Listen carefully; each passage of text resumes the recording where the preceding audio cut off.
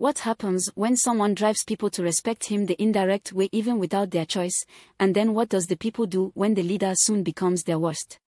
Nightmare, stay tuned as I take you through the journey of Ogundiji a ferocious warrior and Gbotija a commoner. Quick disclaimer, credit to Femi. Adebayo, watch out and don't forget to like and subscribe. The story begins with the introduction of Ogundiji as a fearless warrior, someone who is a legend throughout the various kingdom. The movie dives into a town of Quito where they are currently in chaos. Because they have been invaded by a man who wants to take the throne, the chief.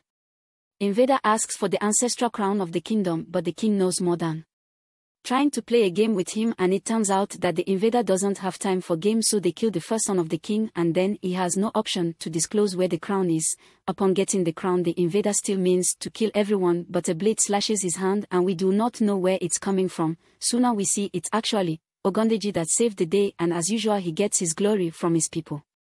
In the present today, a man known as Gbotija is on his way to the school of warriors where Ogundiji is training men to become just like him or better now, Gbotija is from vegetarian age where they are known for speaking with the trees and understanding them as well and they are also great covers. He arrived at the school where they get welcomed by bullets that killed few of them then the rest of them are attack survivors. While listing them in, a warrior discovers a man who disobeys the order of putting away all weapons and belongings and after the fight with him they realize he's a spy without any option one of the three senior warriors have taken him down by himself. The training of the arrival has begun immediately and while they train they also learn to worship Ogundiji. The warriors are trained with weapons and admits champs because champs are very necessary tool in battle on the final day the Ogundiji welcomes them as warriors taking over from someone as long as you have the capacity to do so. It has become a norm the great advantage anyone can also get is when Ogundiji is in alliance with you.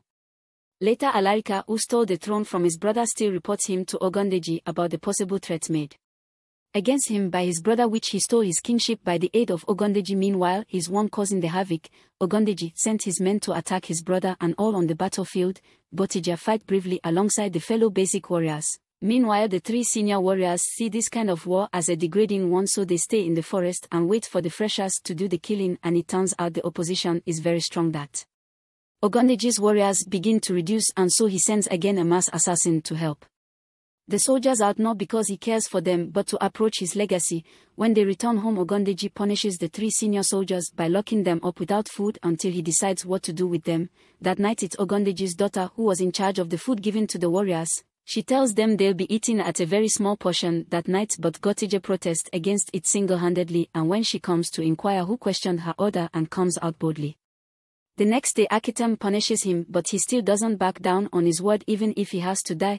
Later they begin to treat him and she brings him oranges as a gift which gets him surprised. She also calls for him the next day and after praising his bravery, she tells him they should be friends.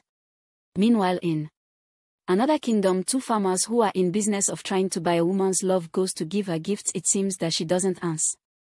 At them after all because she's already in love with someone who is learning to be a warrior in Ogundiji's camp and with no option the men took their gifts back home after she insults them.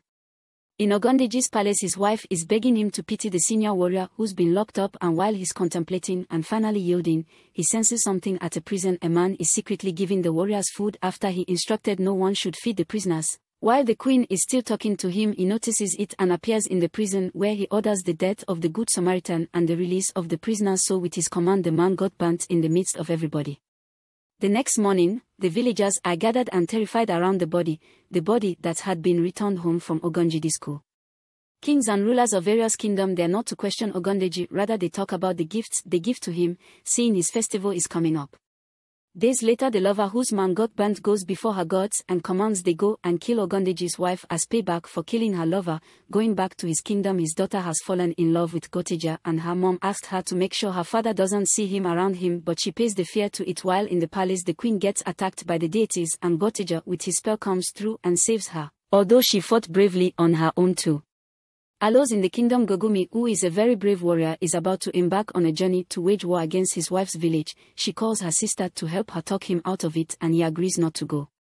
The next morning, she comes to the palace to see Ogundiji where he sees Gbotija and praises him for his bravery in saving the queen and promises to reward him with charms meanwhile the queen asks Ogundiji if he will not give Gbotija any gifts, seeing that the young man really tried to save her life that day Ogundiji who doesn't like his glory being shared dismisses her. He also refuses to see Gogumi who came to apologize again for defying his orders.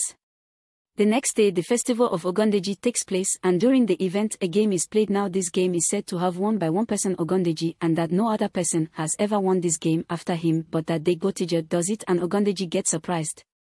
That night Akitan tells him how proud she is of him for doing what no one has done aside their father meanwhile Ogundiji remembers the counsel of his advisors to silence Gogita before everyone forgets about him, seeing that everyone has begun to sing the name of Gogita in praises the next day, Ogundiji decided to favor him by giving him a living chance and tells him he will have to accomplish three tasks before he gets promoted to a higher rank of warriors. He tells him that the first task will be to fight to death with Gogumi hoping he will be killed by him cause Gogita is no match for Gogumi because the man is a great warrior. Gogumi regrets that he will have to kill the young man who calls him father on that day but he not only kills Gogumi by using his three spells and everyone begins to mock Gogumi. After that Ogundiji announces the second task which is staying in coffin for seven days without food and if he survives he will be promoted and be respected by everyone.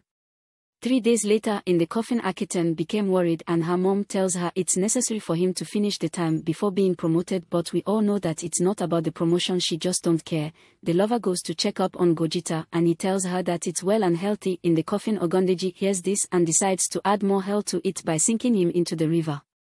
Later, that night more praises from the people and everyone gets surprised to see Bujita back alive and to see Ogundiji's daughter in love with him.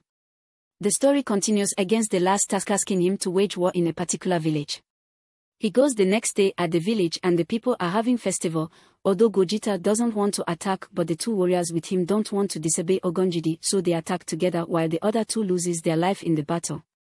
While returning Ogundiji sends Agemo the assassin fighter to attack him on his way, Gogita defeats her and realizes that Agemo is Akitan is mask. She solemnly tells the lover that Ogundiji isn't her biological father and that she was only abducted from her attacked village after Ogundiji saw that she was a powerful child and so he saved her just to use her to kill innocent people. In the end after details she dies. He arrives the next day with Agemo and everyone gathers around him. He then makes a speech to call everyone to wake up from the slavery and tyranny of Ogundiji because he's been using them and making them dance to his tone. He also speaks the secret to Akitan's mom that her husband hid her real child somewhere else after promising her he wouldn't have any other child as long as she sells her womb to make him a great warrior. Ogundiji appears and doesn't have any regrets from betraying her and so the battle breaks out he also told Gogita that it was him who attacked his village and killed his father. At this point warriors stood with Gogita and even though they fight Ogundiji he is full of strength and charm so they can't penetrate him. However his wife who knows the secret to his powers takes out the only dagger that could pass his charms and he goes down. Just then Gogita finishes him up with his dead father's charm. The kingdom is still in this way and there is no ruler to be feared that will keep the lower mother sooner Ogundiji's brother arrives and after being welcomed by the wise one he screams his brother's name Ogundiji and here the movie ends. Guys what's your take at this point as Gogita waged war against him own commander? Drop your opinion and don't forget to like and subscribe to the channel.